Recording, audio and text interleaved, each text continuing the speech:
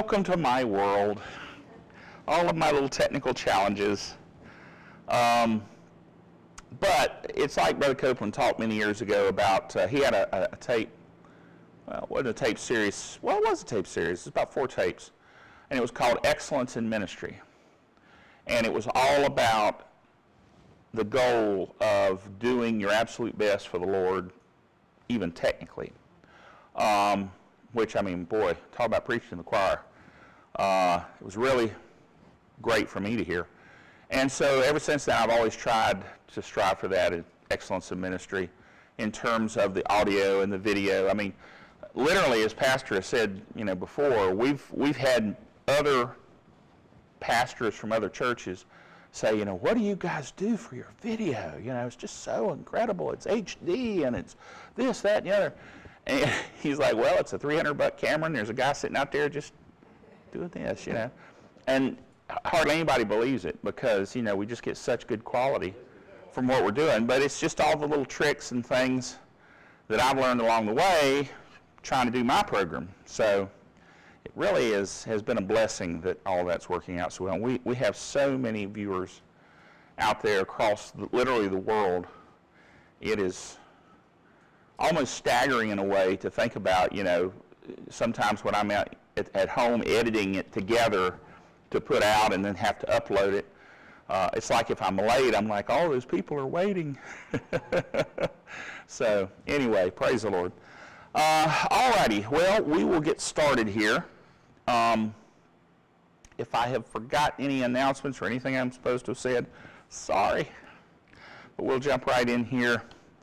Um, one of the things that I'm always reminded of when I am uh, teaching and trying to do all these other things is the importance of helps ministry to take the pressure and the load off of the pastor so that he doesn't have to think about is the audio working, is the camera working, what about the lights, is the heat right, you know, all those kinds of things that can so preoccupy you that it diminishes how much you're concentrating on the words. So, um, as a person who is involved in helps, uh, it really tells me and illustrates how important it is what we do for him uh, to keep everything moving, flowing.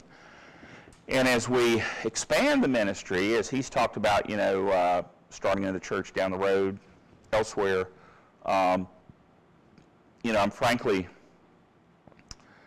believing for the wisdom and the knowledge and the people that we're going to need to pull that off.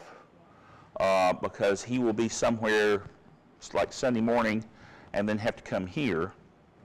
I suspect for some period of time there will be those of us who have to be there and then come back over here and have everything ready and be able to hit the ground running whenever all this happens.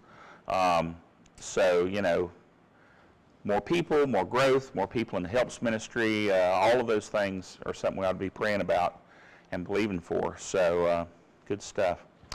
All right, let's open our Bibles to Proverbs chapter 28. Proverbs chapter 28. Tonight we're going to be talking about this kind of a a good uh, topic based on what we were just talking about about helps ministry and the importance of helps ministry, and that is faithfulness. Faithfulness. Proverbs 28, verse 20. A faithful man shall abound with blessings, but he that maketh haste to be rich shall not be innocent.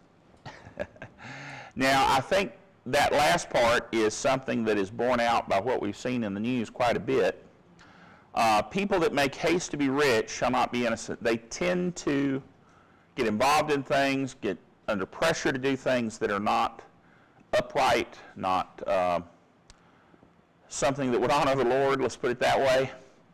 Uh, but it doesn't say we shouldn't be working toward riches because God gives us the power to get wealth in order to establish His covenant in the earth. But I think there the motivation is the key. We, are doing it in order to have the finances to preach the gospel. whether that's uh, equipment, whether that's things that we need to minister around the world, all of that requires money. So there's nothing wrong with the money side of things. But if you make haste to be rich, you fall into that area of trying to do it in a way that isn't a blessing. Let's put it that way. Uh, but the first part of this verse is what I really want to look at. A faithful man shall abound with blessings. So a path to blessings, which I think everybody wants is to be blessed, uh, is faithfulness. And really that's what we, what we want to get into is faithfulness. To really look at that in some detail, let's go to Matthew 25, New Testament, book of Matthew 25, and Jesus here tells a parable. Um, let's see where we want to start.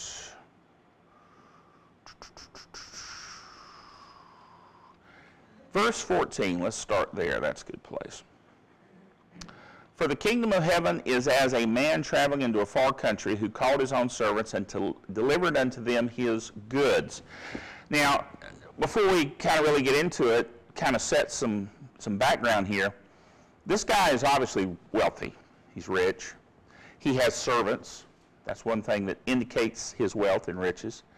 Uh, but not only that, he obviously trusts his servants. He trusts them with his worldly goods. And, and for whatever reason, he's going to have to give them his goods while he's gone. Okay? So he gave to one in verse 15, he gave uh, five talents to another two, to another one, to every man according to his several ability. So he looked at his servants, he said, Now, not all of these servants have similar abilities. Now, you know, I've said this before, it's no, it's no real secret. I'm not the world's best at math. Math and I have a mere passing acquaintance. Uh, and I've had a lot of people tell me, as a matter of fact, a friend of mine at work that tells me, you know, I just don't understand how you can be only fair at math when you're a computer guy. You know, you work with all this technical stuff all day long. And I said, well, here's the thing. Don't mistake lack of ability in one area to be an indicator of intellect or lack of intellect in another area. Uh, people have talents. They have abilities. They have things that they're simply good at. Math is one of those areas I'm just not that good at, and frankly don't really have the interest, which is probably the key right there, you know.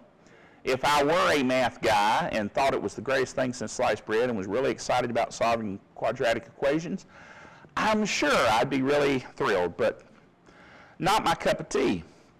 So, uh, you know, talents can vary, abilities can vary. And uh, this guy was obviously aware that some of his servants had more abilities than others. So he gave them his finances, his wealth, to manage according to their several ability and straightway took his journey. When he'd received the five, ta- uh, he that received the five talents went and traded with the same and made another five talents. Now, here's the thing. He had five talents, talent being a measure of finances. We'd say dollars or however you want to say it but it was, uh, it was some amount of money. He doubled it. Well, that's pretty impressive to double your money. I, mean, I guarantee you put it in the bank these days, you're going to get less than a percent. You know, I mean, it's, it's ridiculous. Back when I was young, you could put money in a bank and actually earn a fairly decent amount of interest, but not these days. So, you know, he doubled what he was given, which is pretty good. That's impressive uh, he received,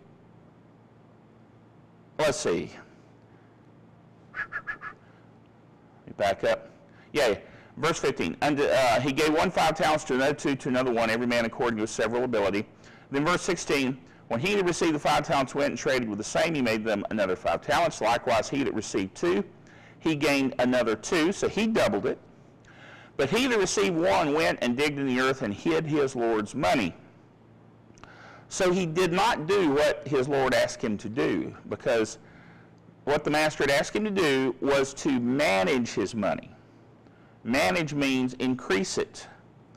do something useful with it, not stick it in the ground.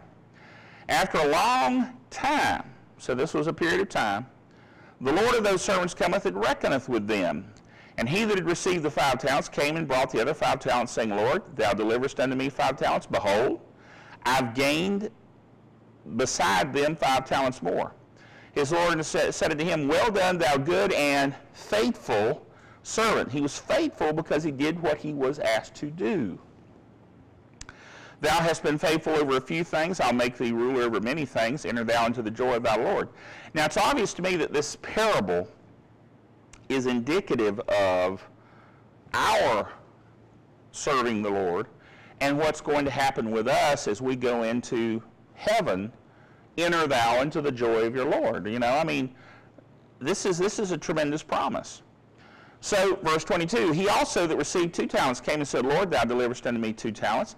Behold, I have gained another two talents beside them. His Lord said unto him, and notice, he didn't say, you know, you didn't do as well as the other guy. The other guy made me five talents.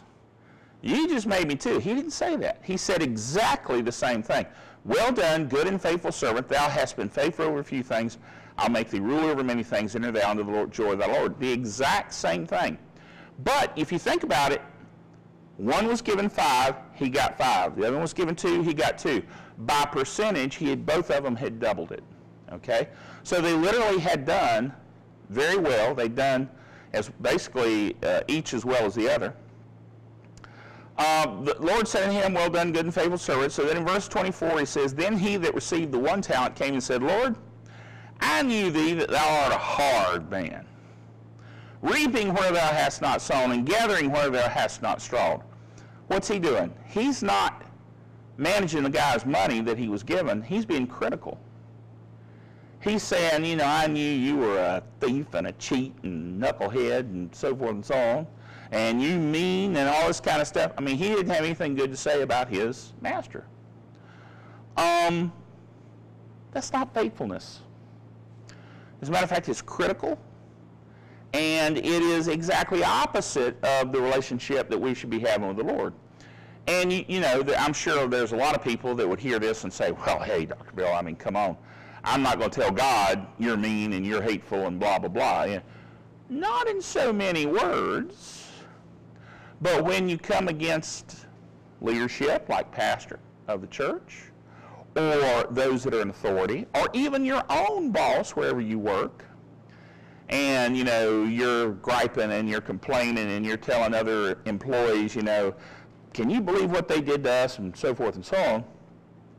Watch that you don't reap what you sow. Okay?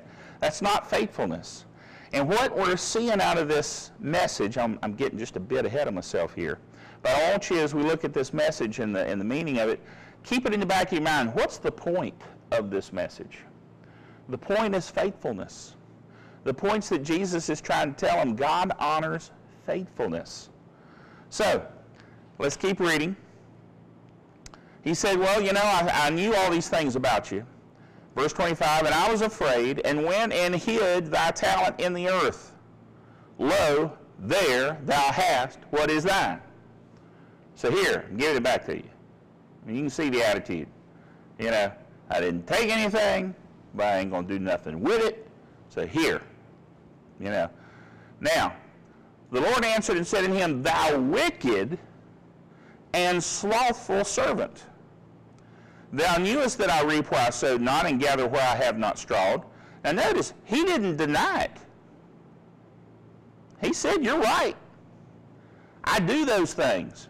Now see, he's not saying you are wrong. And see, this is a, another point that I think we miss when we read this, this story, this parable, is uh, in reading it, we tend to think, well, you know, this can't be talking about God because God wouldn't have done these things. Well, that's really kind of not the point. The point is, in the story of a master and his servants, the servant had some gripes. They were obviously legitimate gripes. Okay? I mean, he didn't argue with him and say, You're wrong about me. He basically said, You're right about me. but your attitude, your attitude personally is wrong. You may be right about me and the way I conduct my affairs and my business, but that doesn't change how you operate toward me. And that's really the point of the message here that Jesus is, is telling in this parable is we can only deal with our attitude, our servanthood, okay? Our ability to serve and to be faithful. I can't affect how my boss thinks or feels or what he does toward me in the sense that I can't flip a switch or pull a lever or do whatever to make him or her different. Um, I can believe the word. I can pray for them. I can intercede. I can do a lot of things in the spiritual realm, but their will ultimately is involved. And if they want to be a knucklehead, they're going to be a knucklehead. Okay? There's not a lot I can do about that, but I can do anything with me because I'm ultimately responsible only for me, not for him or her. Okay? So what I have to do is I have to examine myself. Remember what the Bible says, if you will judge yourself, you won't be judged. I'd rather be the one judging myself. I'd rather be the one saying, you know, hmm, I got some issues here. You know, I, I have something I need to deal with. Lord, help me with this. I repent. If I said anything wrong, did anything wrong, I can deal with me. And if I'll deal with me and be faithful to what I've been asked to do, God rewards faithfulness. Remember, the faithful man will increase in his blessings. Well, blessings come from the Lord. You know, if we get financial blessing, financial wherewithal, that's great, but ultimately it comes from the Lord. So that's the source. And the key to that is, the key to those blessings multiplying is faithfulness.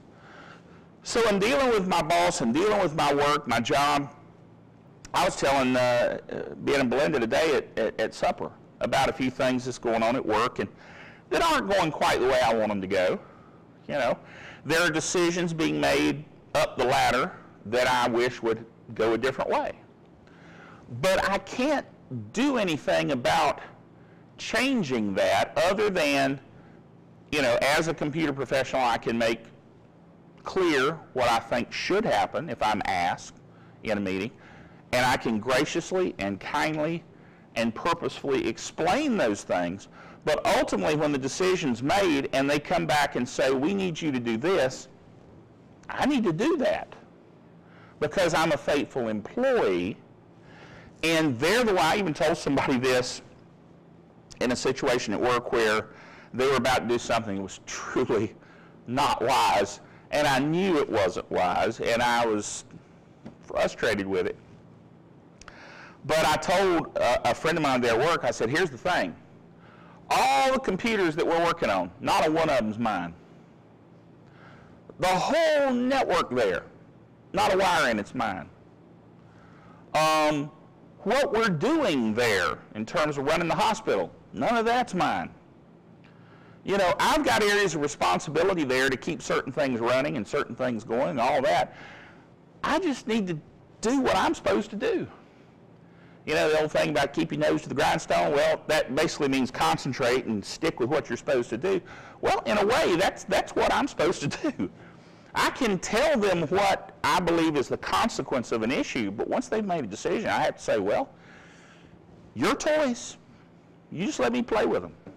You know, if that's what you want to do, that's what we'll do. And uh, a lot of decisions ultimately come to find out I had a few good points and it didn't quite go the way it should have gone. But again, I don't go back to them and say, see, I told you. Again, what's the attitude? Gets back to that third servant. He had a bad attitude. I told you so will not gain you points at work okay? And it, to be honest, it's also not faithfulness. It's not kind. It's not what a Christian would do in that position, okay? So what I do is, again, if they say, why do you think this went the way it went? I would say, well, you know, there's this reason, this reason, this reason. We discussed that, uh, but we went a different way, and that's fine.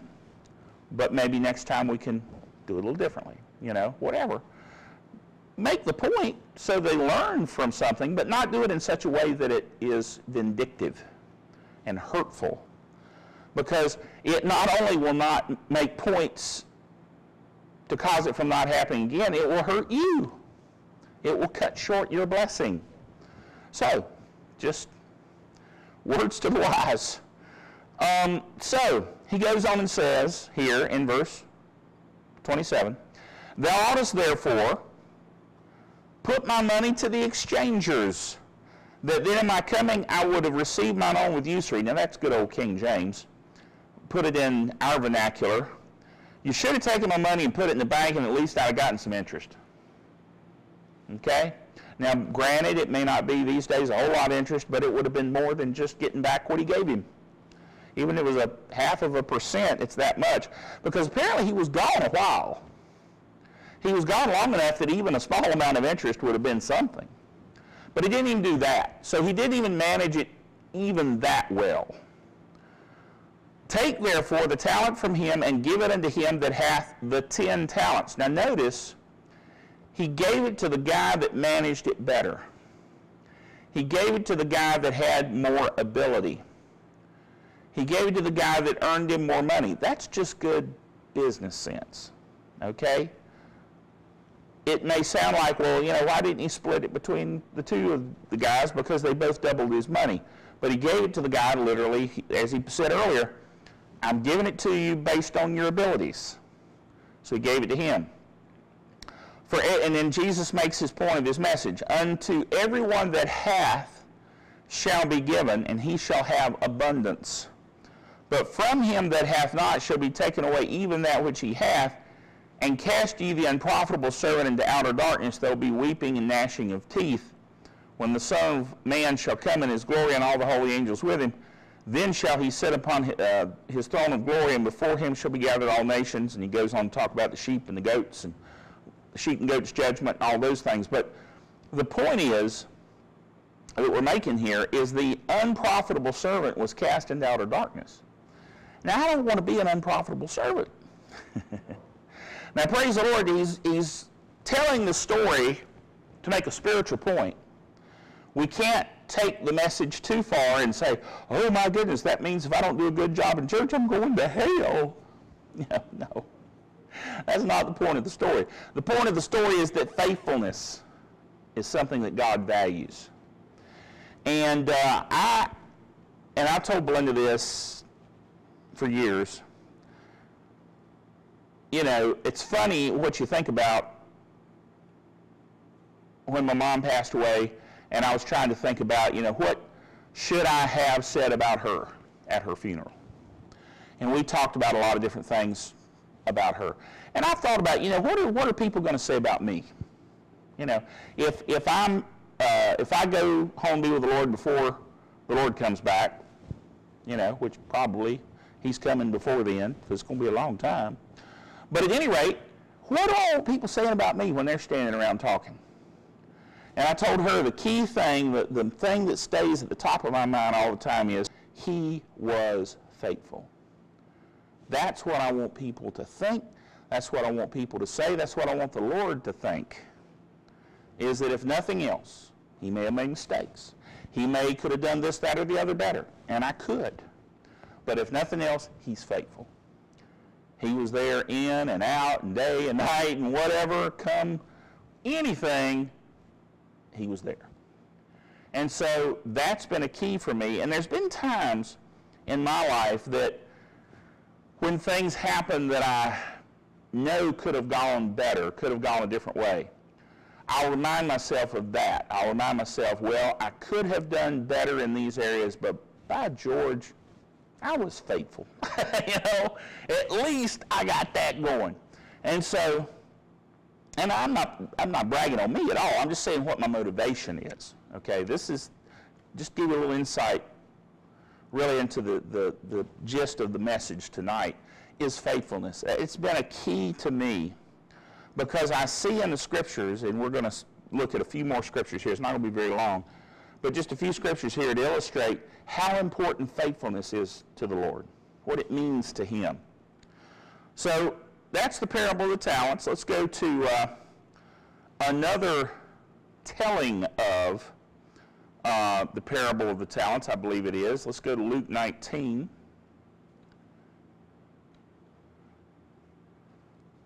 I know there is a version in Luke. I'm actually not sure it is the same story. So let me go down here.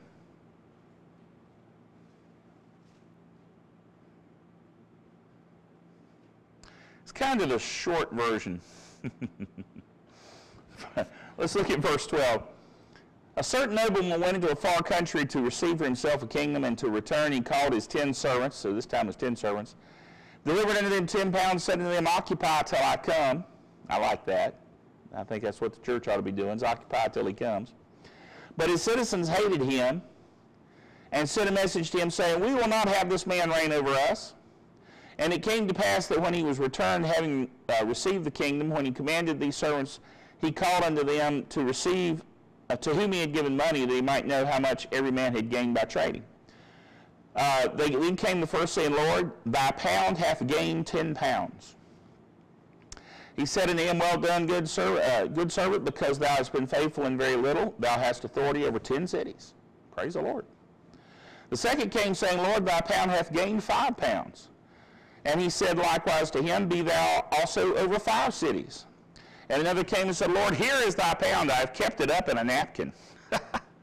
For I feared thee, because thou art an austere man. Thou takest up where thou layest not down, and reapest where thou didst not sow. And he said unto them, Out of own, thy own mouth will I judge thee, thou wicked servant.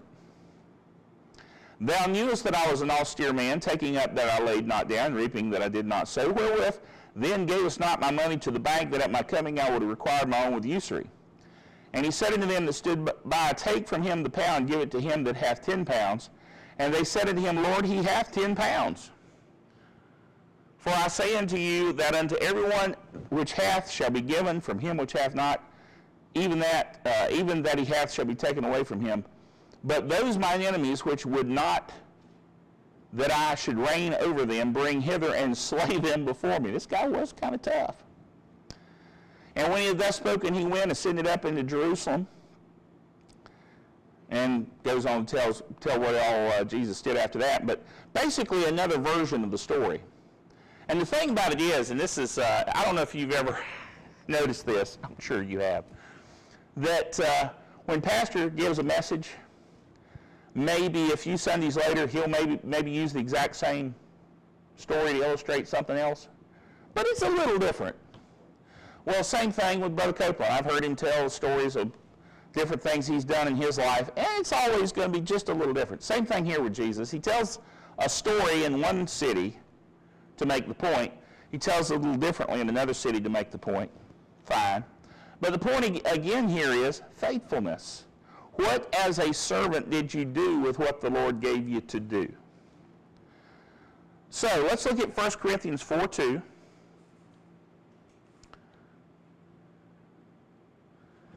And actually, let's begin in verse 1.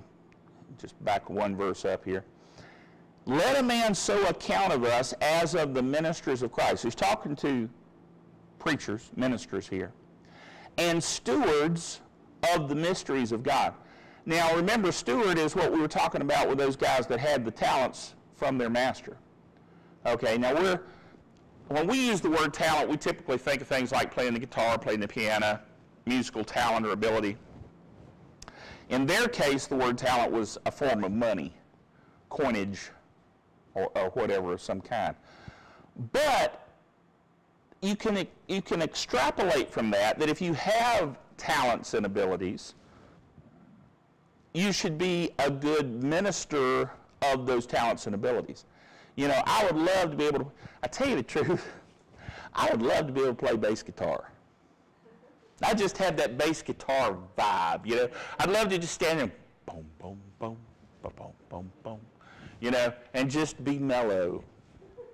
And, you know, I could just do that. I, I, I like that. And I've also been a fan of bass licks, you know. So, um, I tell you what, this is totally not spiritual, okay? We're going to take the not spiritual part of the program tonight. But there is Um, there's a song by uh, Phil Simon.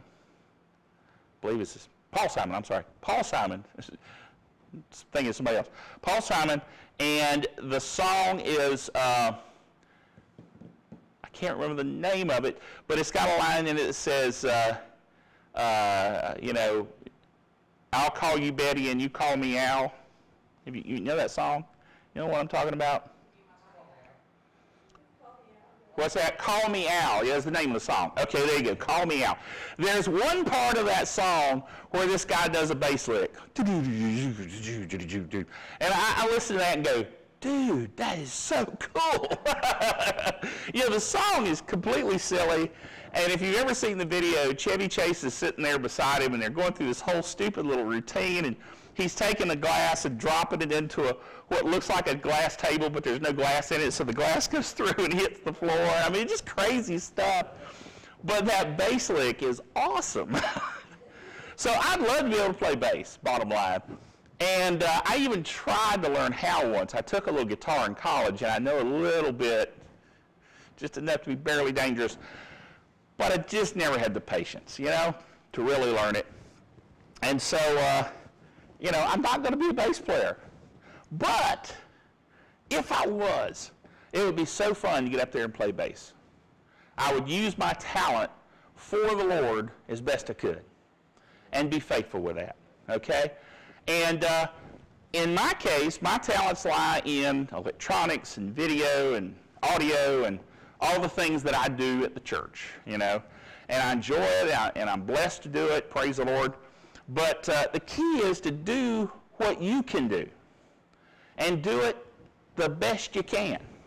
I don't want to be the servant that hides the talent in the ground or in a napkin, you know. I want to be the servant that actually uses his ability. And, you know, even if I've only got two and I double it, I doubled it, you know.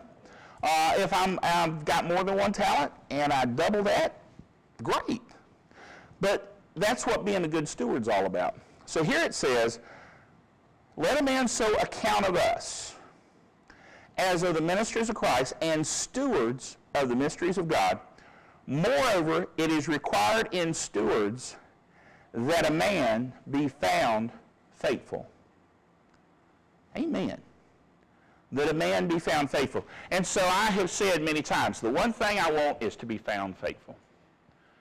And the thing about being found faithful this is just a, a, an aside, but uh, you're not found faithful unless somebody's looking for faithfulness.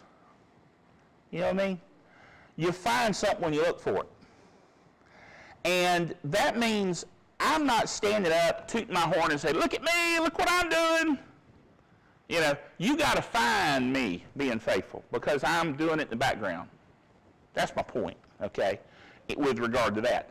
And that is, otherwise you get into pride. Look at me and look what I'm doing. And that's certainly not the point of what I'm talking about here tonight.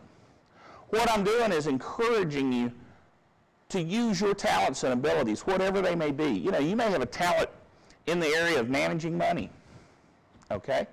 Use that somehow for the Lord. Find a way. Pray and find a way that you can do that. Maybe you need to uh, be the person that runs the bookstore and takes care of the money there. I don't know. But you can do it in such a way that, that it'll bless the church, bless pastor, and manage that money. And it just may be that one area. But you double it. You know? You're a good steward with it.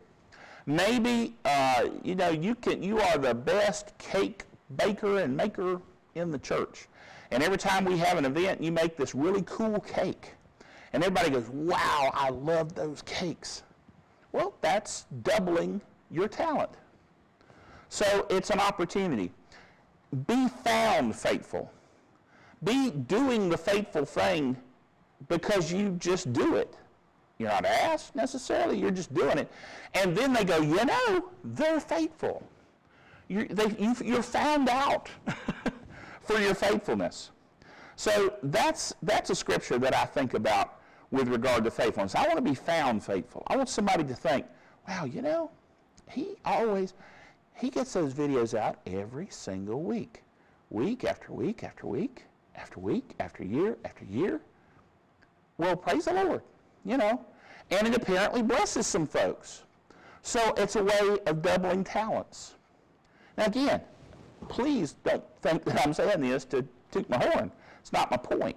But the point is, whatever your area is, whatever your talent is, you can do something. Last scripture.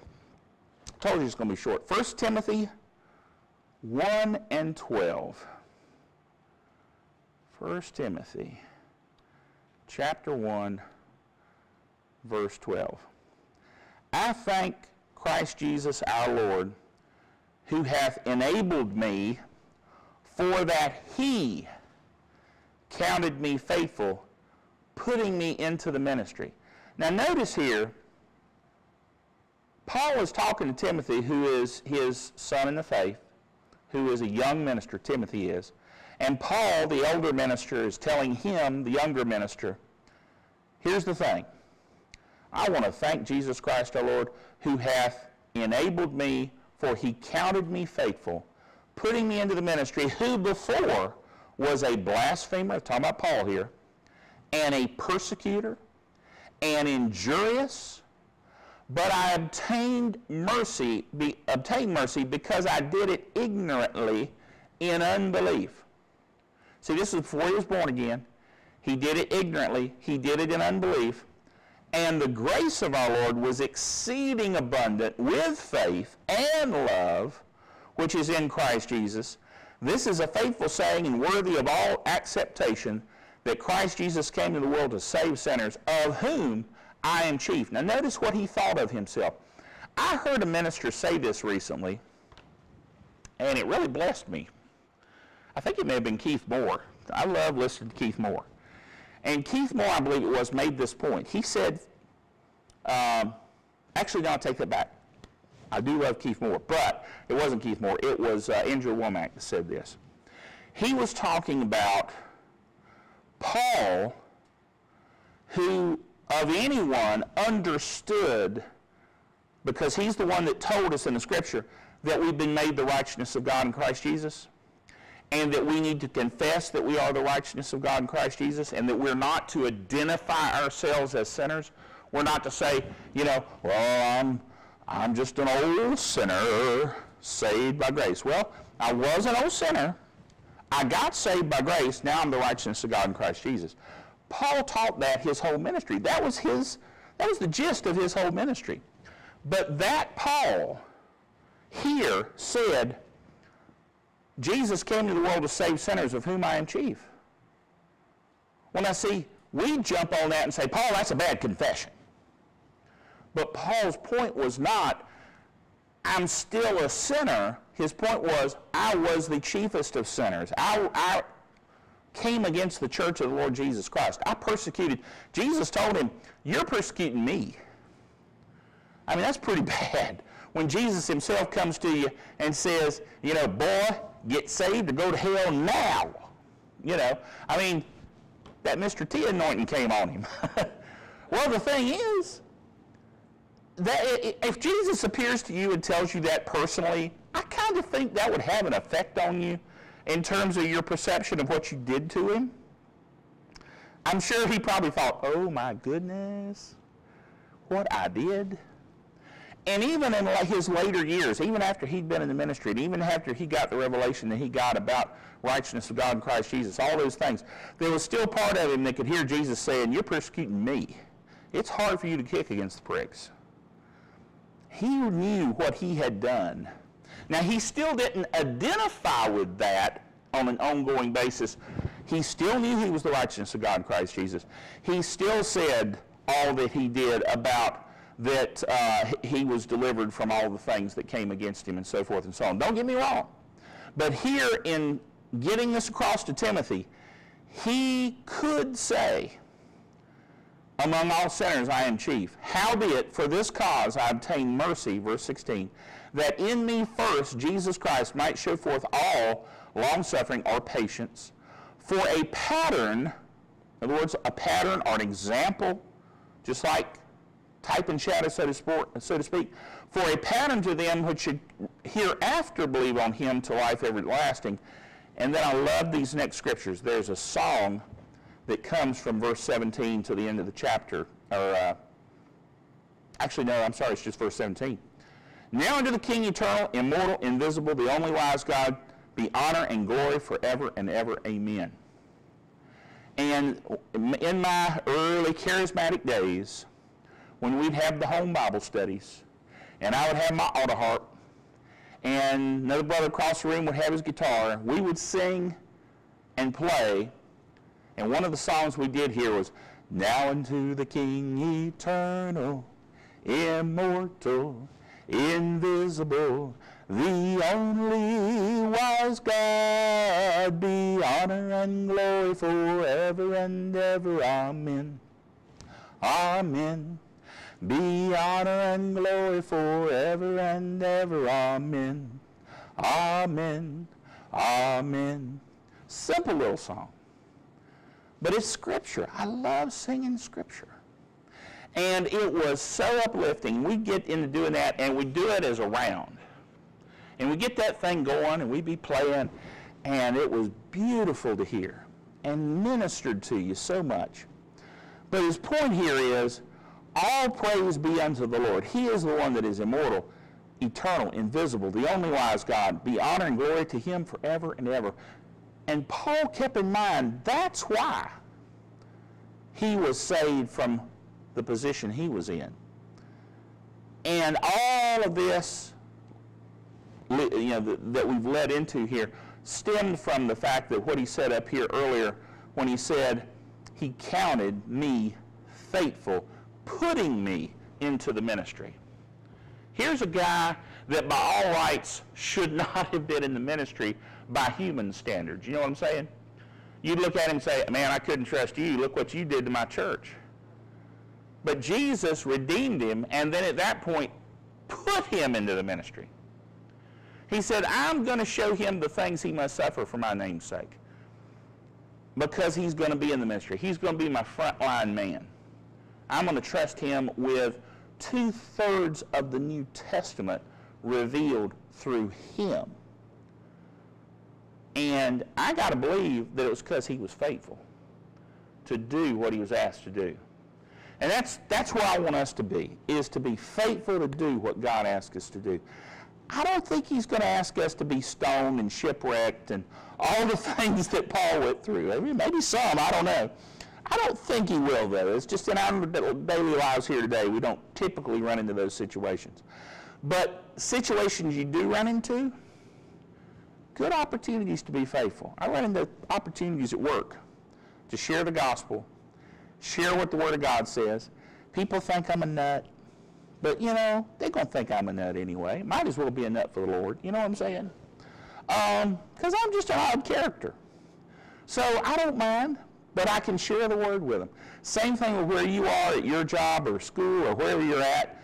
You may be odd to a lot of folks, but you're the one they come to and ask, what do you think? Oh, by the way, you were talking about that yesterday, about some scripture. What was that scripture? You know, I mean, you've got opportunities.